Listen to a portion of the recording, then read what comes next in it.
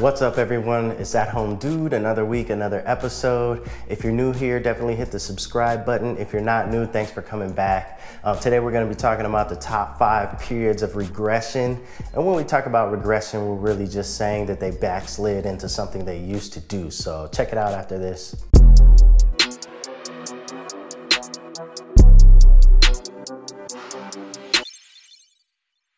So the point of me doing this video is just to let you know what's coming in the future so that you don't rip all your hair out like I did, maybe just a little bit, right? all right, so starting with number five, we're gonna talk about walking back to crawling. So sometimes what happens is your child starts to walk and they like to walk and grab things and everything, but eventually at some point they go back to crawling sometimes. We only experienced this with one of our children and it was our oldest child because he saw his younger brother crawling. It wasn't really a big deal. He didn't do it in public. It was mainly just at home while they were playing and stuff and he would crawl around. It only lasted a couple weeks and then he was back to walking around all the time. So no big deal there.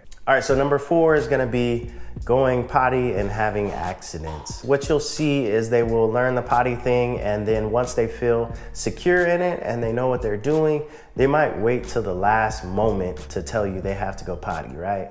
And that will lead to having accidents again. And as a parent, that can be very frustrating because then your kid is a mess and you have to clean him up, get rid of the clothes, get some new clothes. And if it's in public, it's a mess. For us, we kind of had to live with the fact that he was telling us at the last moment and I had to grab him and run to the restroom wherever it was at and try to hope that we make it, you know? A good thing that we did was we packed the potty in the car if we were gonna be driving for a long period of time. You also can bring clothes wherever you go so that at the very least you have a backup pair of pants or whatever it is so that if they have an accident, you're somewhat ready for it. All right, going to number three is going from talking back to whining. It really drives me crazy because I don't know what they need or want. They whine and I get really frustrated and the situation just spirals downhill. Often what I'm telling them over and over again is use your words, use your words. But just know that it's gonna happen and hopefully it can drive you a little bit less crazy.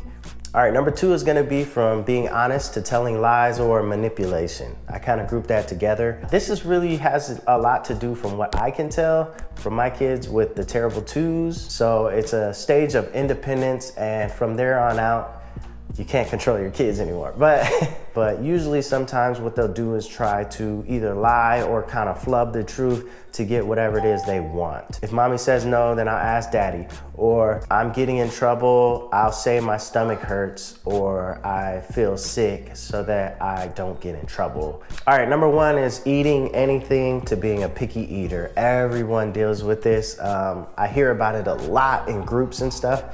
And there are many things that you can do to try to get them to eat healthy foods. But at around one year old for both of my children, they would eat like anything and really kind of came into their own and they're experiencing things and they love to eat.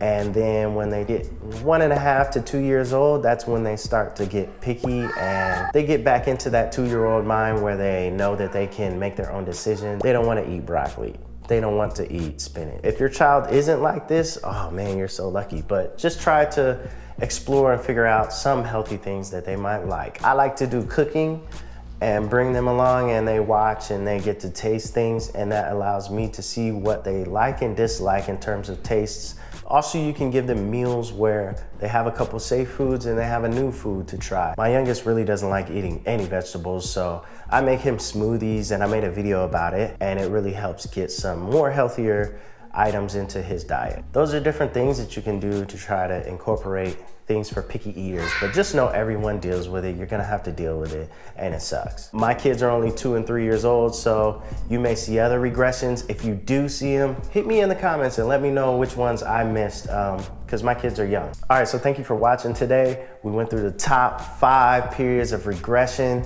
Once again, hit the subscribe and like if you liked the video. And uh, thanks for showing me love. Have a nice one.